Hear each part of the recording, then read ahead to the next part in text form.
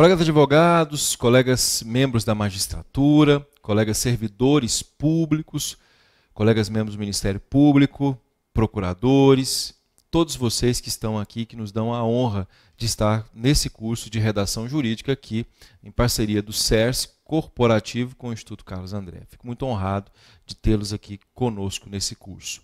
Vamos lá então, meus diletíssimos colegas. Vamos entrar agora num dos pontos mais importantes, mas mais importantes do processo de comunicação, que é a coesão textual. Lembra-se que nós colocamos a vocês?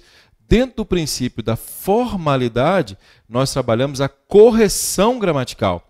E a correção gramatical, por óbvio, muito importante é para estabelecer a lógica da impessoalidade.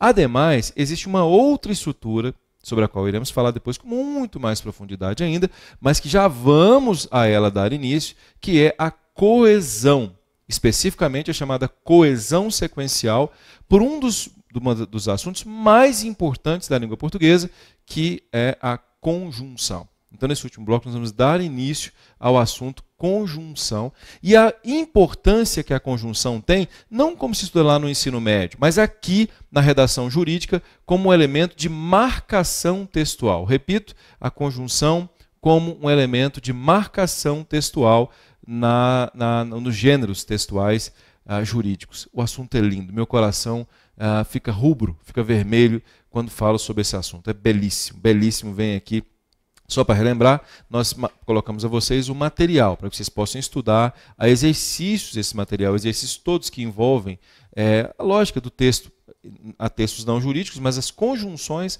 são basicamente as conjunções usadas no direito. Isso é muito importante, isso é muito importante. Então vamos lá.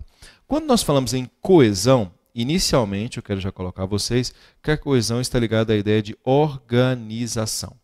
Falar em coesão é falar, em tese, na estrutura de organização. Organização está ligada à ideia de coesão. Vamos aprofundar posteriormente esse assunto quando falarmos de coesão referencial. Por enquanto, vamos falar em organização. Mas essa organização é feita por meio de uma sequência. E alguns elementos são marcadores de sequenciação. Porque, como o próprio nome diz, a sequência é a lógica de catáfora. Ou seja, cata está ligada à ideia de para frente, forá quer dizer transporte. Catáfora é transportar para frente. Significa dizer que é uma organização do texto que faz o texto ter continuidade. E essa coesão sequencial ela é feita por meio de alguns elementos. E um desses elementos é a conjunção. Repito, olha, nós estamos estudando a textualidade, a redação jurídica na perspectiva da coesão sequencial. Repito, não é hora, Parece um atropelo, mas não é. Você vai entender posteriormente quando for falar sobre coesão referencial e retomar coesão sequencial lá na pontuação. Pensar em coesão é pensar em organização. Sejamos muito práticos, profundos eh, e, e práticos. A coesão sequencial está ligada à organização textual. Essa organização textual é catafórica, ou seja, é levar o texto à frente, é desenvolver como as águas do rio lá de João Cabral de Melo Neto, né? lá do Recife, mas que na verdade é universal, o grande poeta João Cabral de Melo Neto. Quem não leu, colega advogado, tem que entender de literatura, tem que ter a percepção literária. Tem que ler, hein? Tem que ler. Então, quando nós observamos os aspectos de coesão sequencial, nós trabalhamos a lógica da conjunção. Falar em conjunção, repito, falar em conjunção é falar em quê? Hein? Bem, dicionário Aurélio fala sobre a origem da palavra conjunção. Conjuncione. Quando se fala do latim conjuncione, está ligada à ideia de junção, é juntar com. A própria palavra conjunção estabelece essa noção né, de juntar, o ato de juntar, o ato de unir.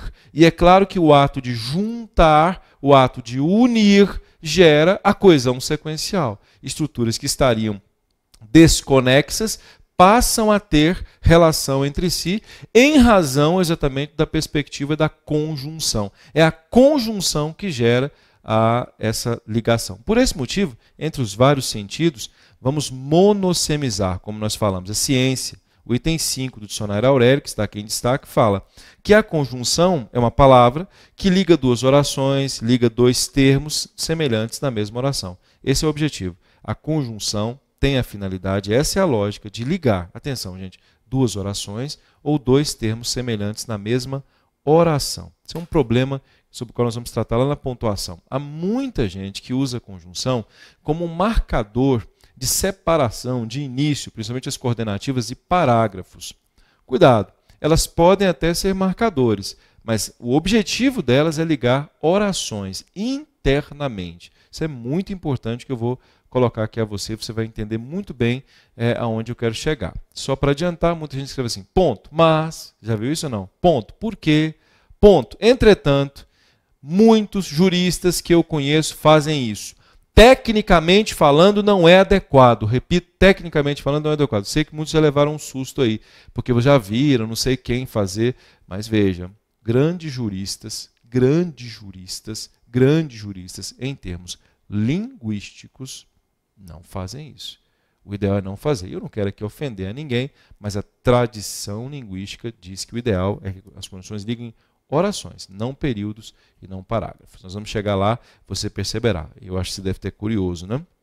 Bem, o que é então a conjunção? É uma palavra invariável que liga duas orações e que funciona como marcador argumentativo. O objetivo da conjunção é estabelecer uma marcação. Há uma teoria bastante interessante que é chamada teoria da sinalização custosa. Né?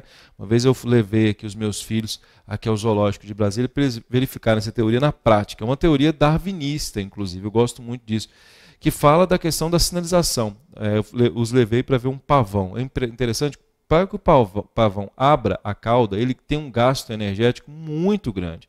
Então ele só abre a cauda algumas vezes uh, ao dia e quando efetivamente a fêmea interessa. Né? Então ele sinaliza. Se nós formos parar para refletir, tudo que está ligado a, a essa lógica da eficácia do processo comunicativo, nós falamos em sinalização.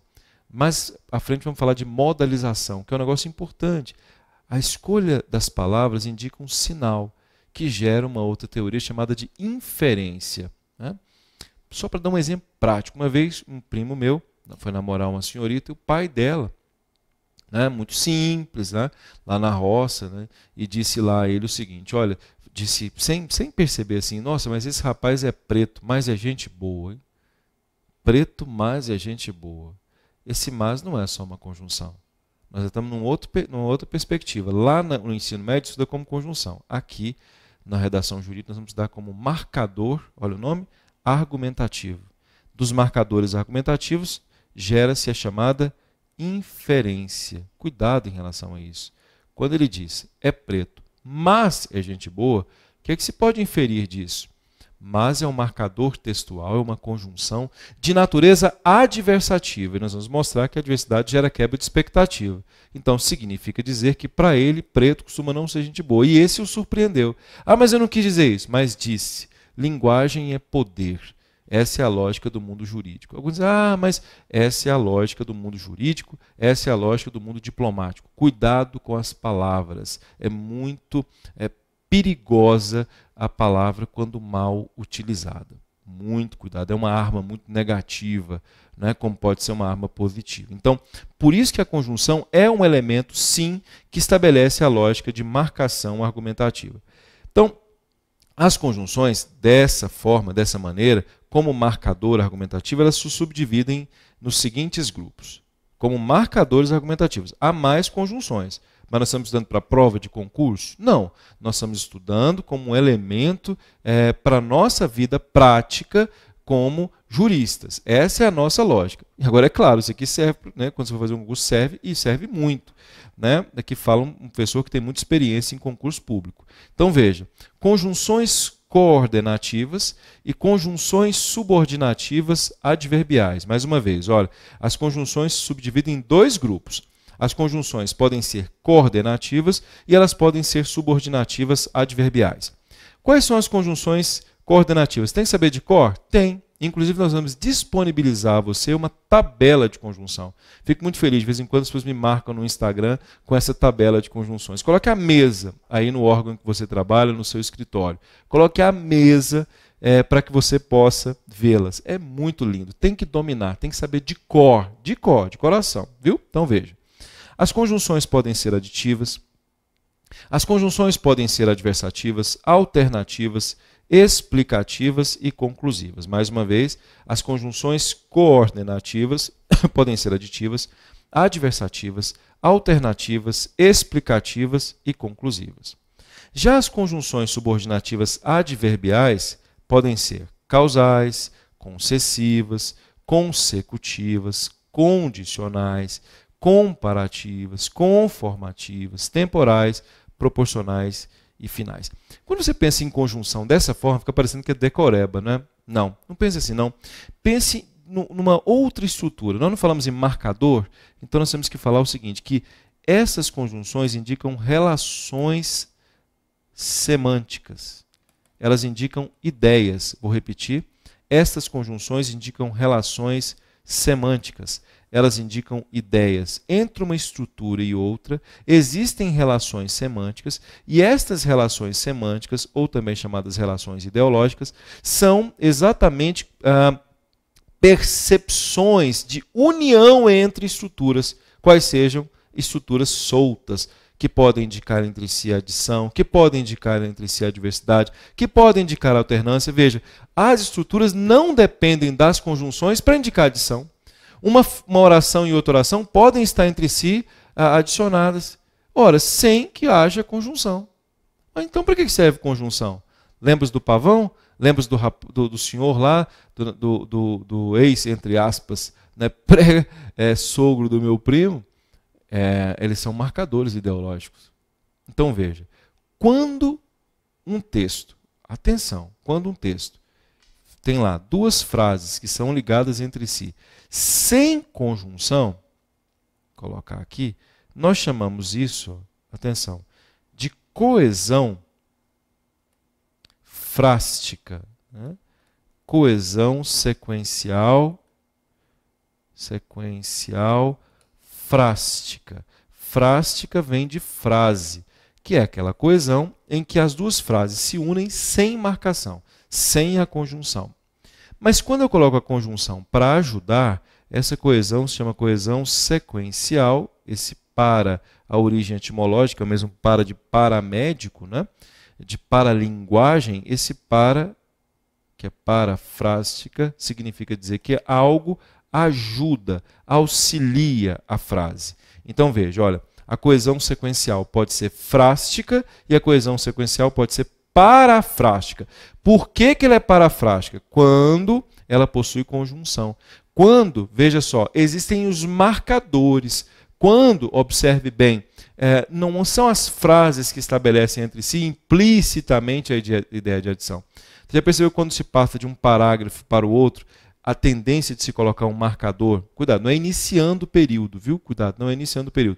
Mas colocar um marcador é exatamente para estabelecer, ajudar, portanto, parafrástica. O parafrástico está ligado ao fato de um marcador que auxilie, repito, auxilie a coesão sequencial. E, gente, isso é muito importante em lei, então, dispositivo legal, isso é importantíssimo, porque a conjunção vem e marca, repito, marca qual que é o valor semântico que uma ideia tem em relação à outra. Isso é lindo, uma das matérias mais lindas, mais lindas que há em língua portuguesa, mais extraordinárias.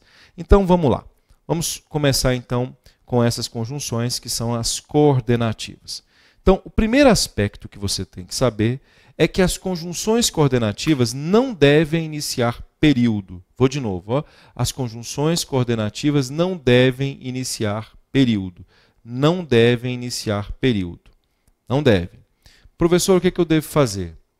Ou eu uso um advérbio, ou eu uso uma, um deslocamento.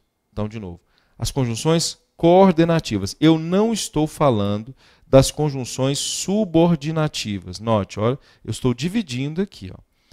Estas conjunções aqui não devem iniciar período, por uma questão ligada à análise sintática sobre a qual ainda iremos falar. Mas elas não devem, não é razoável que elas iniciem períodos. O que, é que eu tenho que fazer?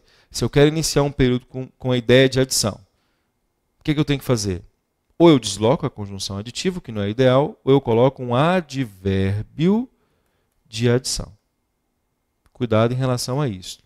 As conjunções conclusivas não devem iniciar período. O que, é que eu tenho que fazer? Colocar um advérbio de conclusão ou deslocar. Como as adversativas, as alternativas explicativas não têm advérbios, elas devem ser deslocadas ao início do parágrafo e ao início do período. Portanto, vamos lá, só para ratificar. Depois de ponto, eu coloco conjunção coordenativa? Não. Coloco conjunção conclusiva? Não. O que, é que eu tenho que fazer? Coloco os advérbios. Acalme-se que eu vou dizer quais são eles. Vamos de novo. Olha, an, é, ao iniciar, depois de ponto lá, coloco ponto e continuo. Ou então eu vou iniciar o parágrafo. O que eu tenho que fazer? Pego um, um advérbio de adição, pego um advérbio de conclusão e inicio. Ah, eu quero usar a conjunção, tanto aditiva quanto a conclusiva. Desloco. As adversativas, as alternativas e as explicativas, na minha redação jurídica, eu vou sempre ter que deslocar se eu quero iniciar parágrafo. Porque se eu não, eu coloco vírgula, mas vírgula ou vírgula por quê? Certo? Para unir orações dentro do mesmo período. Mas se eu quero iniciar parágrafo com a ideia de adversidade, um parágrafo tem uma ideia de adversidade em relação ao outro. Isso pode acontecer, não pode? Eu quero estabelecer uma relação parafrástica. Eu quero colocar um conectivo. Eu quero colocar um marcador, eu desloco. Percebe? Professor, não estou entendendo. Acalme-se. As conjunções subordinativas adverbiais, elas todas podem, ó, essas aqui todas podem iniciar período. Então veja, ó, estas não podem iniciar período nem parágrafo, estas podem. Então não precisa de nenhum artifício. Certo? Vamos primeiro saber quais são as, essas conjunções para que nós possamos demonstrar na prática como é que elas funcionam. Atenção. As conjunções aditivas, adversativas, alternativas, explicativas, conclusivas são as seguintes. Aditiva. O que, é que ela faz? Ela liga duas estruturas oracionais com função de adição. O E, adição positiva. Estudou e passou. Nem. Adição negativa. Nem estudou e nem passou. Essa é a lógica. Certo? Certo ou não? Quando é que eu uso o E? Teoricamente, nem sempre é assim, mas teoricamente, o E tem conjunção, tem valor aditivo. Tá, vou escrever, aí está lá assim, é, ponto, E, vírgula, blá, blá, blá, blá, blá, ponto, nem, blá, blá, blá, blá, blá. O que, que você tem que fazer? Não pode permitir isso.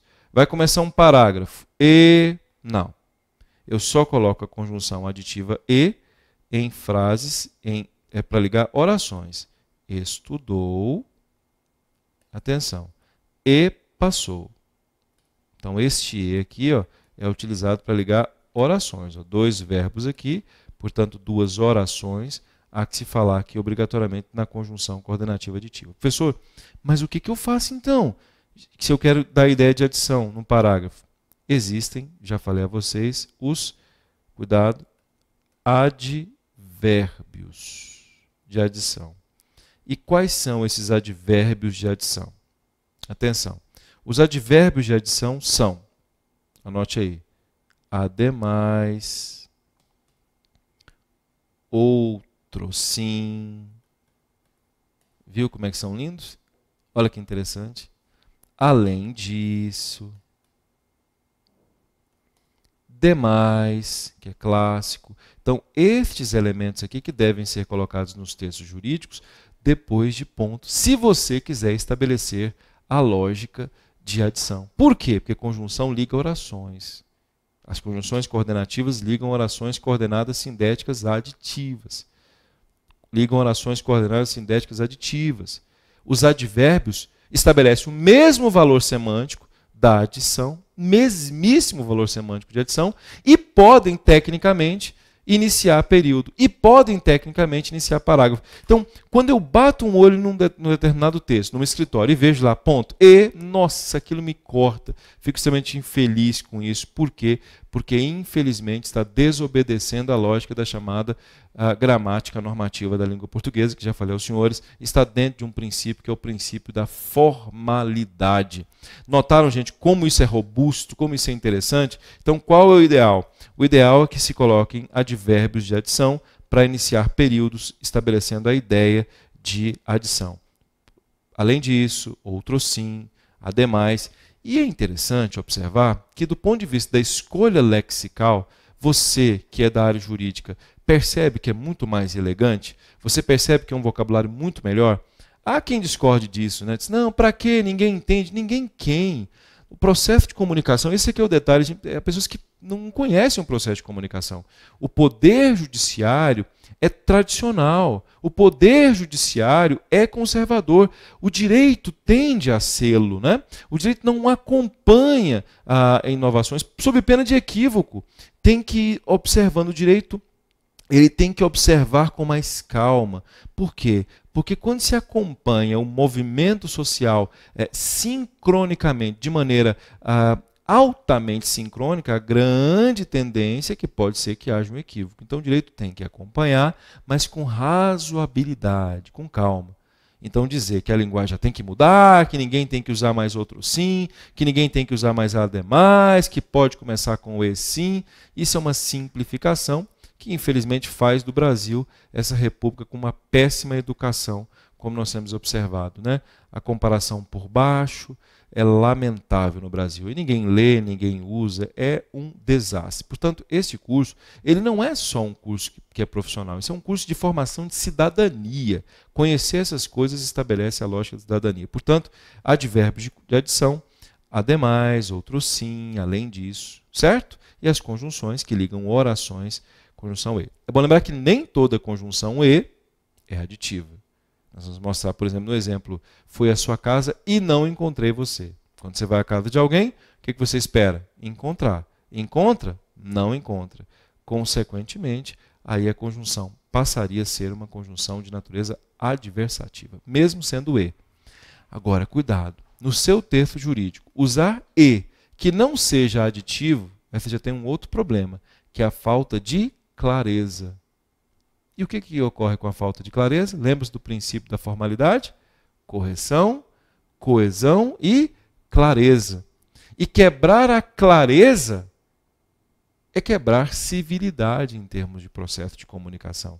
Se eu coloco um e que é adversativo, eu quebro a clareza. Se eu quebro a clareza, eu tenho um vício em relação à comunicação jurídica. Então, quando alguém diz que a comunicação jurídica tem que escolher palavras técnicas, é verdade. Agora, tem que escolher também elementos que não geram obscuridade, sob pena até, em alguns casos, de uh, chamados embargos declaratórios, não é? Vocês notaram como é que é lindo, gente? Como esse assunto é extraordinário, é um negócio lindo, né? Bem, diferentemente do que seria a lógica, já de entrar em adversidade, alternância, explicação, eu já quero partir das aditivas para as conclusivas. Vocês vão ter uma tabela de todas as conjunções. Por quê? Porque as duas possuem os chamados advérbios né, para iniciar períodos. Então, é muito importante nós falarmos das duas ao mesmo tempo, para não ser didático ligado a concurso. Eu quero ser didático ligado ao CERS corporativo, ou seja, à redação jurídica. Vamos lá, então.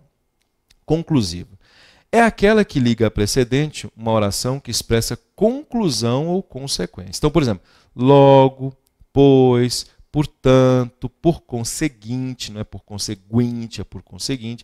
Essas conjunções que aqui estão são conjunções típicas, repito, de ideia de conclusão. Você já sabe, a conclusão está ligada à ideia cartesiana, a ideia aristotélica, a ideia de lógica. Né? Quando se fala em conclusão, se fala em lógica. É muito ruim quando se percebe numa redação jurídica, por exemplo, lá a apresentação, no caso da sentença, depois a fundamentação e depois o dispositivo, e aquele dispositivo não tem relação com o que foi fundamentado. Já vi casos como esse, um Frankenstein, isso é terrível, terrível, terrível. Bem, o que, que eu uso para indicar uma conjunção conclusiva. Imagine que eu escreva assim: penso, logo existo. René Descartes, penso, logo existo. Isso é uma questão típica do racionalismo. Né? O ato de existir é a lógica ou lógico ato de pensar. Quem não pensa, portanto, não existe. Então, antes dessa conjunção, quando liga orações, há vírgula, normalmente. O problema que muita gente tem feito é assim: escreve, escreve, escreve, ponto. Relembremos as conjunções. Ponto. Logo, ponto. Portanto, ponto. Por conseguinte, você já viu isso, não é? Alguns estão nos ouvindo, já até fizeram, eu tenho certeza disso. Então, ponto. Portanto, ponto. É, por conseguinte, o que, que você vai fazer? Nunca mais vai fazer isso na vida. Isso não está de acordo com o padrão formal. Professor, o que eu tenho que fazer, portanto? tenho duas opções. Ou eu desloco a conjunção, vamos fazê-lo. Você está escrevendo, escrevendo, escrevendo, vai começar ponto. Coloque lá um verbo, verifica-se, vírgula, desloca a conjunção, portanto, que blá blá blá blá blá blá. Nota-se por conseguinte que o que se pode observar aqui é que a conjunção passou, depois de estar intercalada e entre vírgulas, a ter quase que uma outra função. Ela é um verdadeiro marcador textual. Então, lá no seu texto, verifica-se, vírgula, por conseguinte, verifica-se, vírgula, portanto, é um marcador de conclusão. Ela fica entre vírgulas depois de um verbo e depois do que vai ser dito. É belíssimo, isso é de uma, de uma, de uma forma altamente clássica de falar. E isso é perceptível na linguagem falada. Quando se pensa em língua falada, a grande tendência, repito, a grande tendência é de que, repito, em língua falada isso gere uh, mais ênfase no, marca, no marcador. Nota-se, por conseguinte, nota-se portanto, e fica claro esse portanto, na língua falada, nos discursos, na, nas audiências, nas sustentações orais, isso fica extraordinariamente interessante.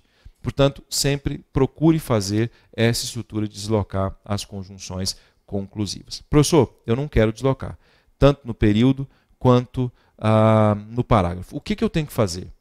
Existem, já falei a vocês, os advérbios de conclusão. E esses advérbios de conclusão são famosos. Vamos pegar alguns. Isso posto, olha que interessante. Destarte, veja que interessante. Ou dessarte, os dois são colocados. Já ouviu o dessarte? O dessarte é que estaria de acordo com a gramática normativa. Né? Infelizmente, ele foi colocado de lado em razão do pouco uso da pouca tradição. Mas eu prefiro usar dessarte porque é dessa arte, e aí o ideal seria dessa e não desta. Destarte entrou por erro não corrigido. Isso é uma pena. Então, isso posto, vírgula, destarte, vírgula, assim. Esses são alguns dos advérbios que é, estabelecem a lógica da conclusão e que podem iniciar períodos ou parágrafos. Então, você quer colocar ponto e iniciar período e parágrafo, você vai colocar assim, ponto. Assim, vírgula. Isso posto, vírgula. Né? Ah, como foi, foi colocado lá. Nesses termos, Notaram? Então, esses elementos que estão aqui não são conjunções, mas o valor semântico que eles têm é o mesmo valor semântico de uma conjunção conclusiva, com a diferença de que eles podem gramaticalmente uh, iniciarem períodos, iniciarem parágrafos, sem precisarem ser deslocados. Naturalmente, alguns que são mais clássicos chamam mais atenção para a propriedade vocabular. É o caso, por exemplo, do destarte ou dessarte eles chamam bastante atenção. E eles estabelecem, eles marcam um nível de inteligência textual extraordinário, acima de toda suspeita em relação à lógica do conhecimento linguístico. Para que você, inclusive, tenha esses marcadores textuais todos, esses, essas espécies de conjunção toda, o que eu quero de vocês? Que vocês possam acessar a nossa tabela de conjunções, vamos colocá-la com várias conjunções e com vários advérbios para que você possa enriquecer o seu texto. Claro, vamos fazer depois exercício e vamos mostrar isso na própria no próprio texto jurídico. Mas você já pode, já hoje, aí no órgão que você trabalha, no Tribunal de Justiça, no Ministério Público, no seu escritório de advocacia, na Procuradoria, na Defensoria, já olhar que você já vai ver o que eu estou falando aqui. No próximo encontro, nós vamos falar sobre as conjunções adversativas, alternativas, quais os aspectos de interpretação. Será que um ou no dispositivo legal pode ser e? Diferença entre exclusão e, e disjunção. Como é que eu uso isso? Falar sobre as conjunções subordinativas adverbiais. Olha, esse curso é imperdível. Certo? Próxima aula, continuamos então a falar sobre a conjunção como marcador textual argumentativo. É isso. Até a próxima aula. Um fraterno abraço a todos e vamos juntos. Avante.